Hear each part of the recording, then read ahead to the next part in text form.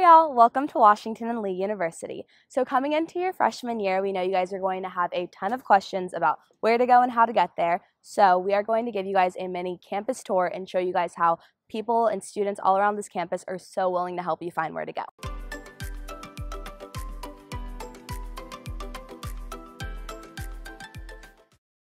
So starting off freshman year, you're either going to be living in Gaines, which is right behind me, or Graham-Lees, which is going to be to the left over there, and we'll walk by that in a little bit. So just to show you guys how friendly and open this campus is, we're going to ask a few people to give us directions on how to get certain places. How do you guys get to Commons from right here? You go that way. Walk up those stairs over there.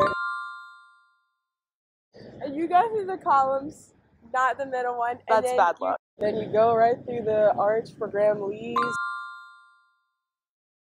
Go straight. Keep going straight. Follow the path. Then eventually you'll get to this gigantic building. You go in there. So now we're in Commons, and you guys are going to be spending a lot of time here.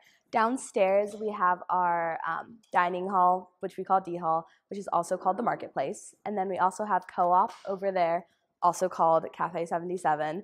Um, in addition to that, the bookstore is in Commons as well. So now we're going to ask some people how to get to the colonnade from here. this way, which I guess you go out the exit by Coop.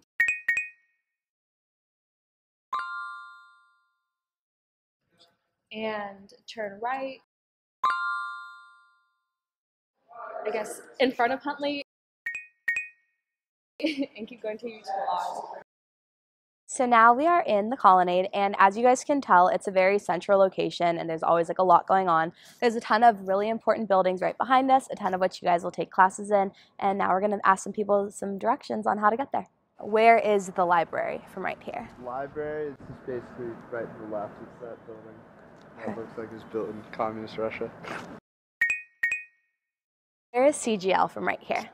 Okay, so the CGL is like right that way, at the very end. Where is Washington Hall? I actually don't know. It's one of these buildings on the colonnade. Uh, Last question, where is Washington Hall from it's right the here? one with George Washington on top.